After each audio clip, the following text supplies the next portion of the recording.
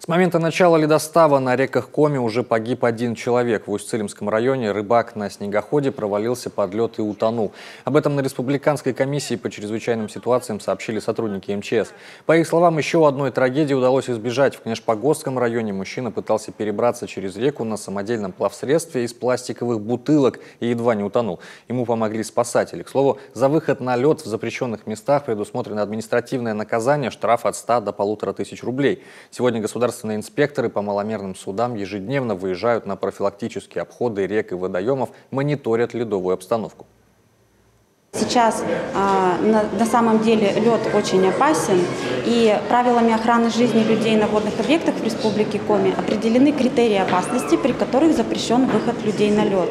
Это толщина льда менее 10 сантиметров, цвет матово-белый, желтоватого, сероватого оттенка. Это там, где выступают кусты, деревья. А, это наличие полыни, промоин, и различных трещин на льду. Это места, где возможен отрыв льдины от береговой части.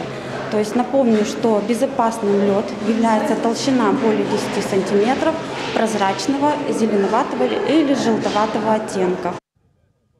Сегодня муниципалитеты готовятся к оборудованию ледовых переправ. В этом году их будет 90. Но когда они откроются, будет зависеть только от погоды. Чтобы на реках установился прочный лед, необходимо, чтобы температура в минус 10-15 градусов продержалась не меньше недели.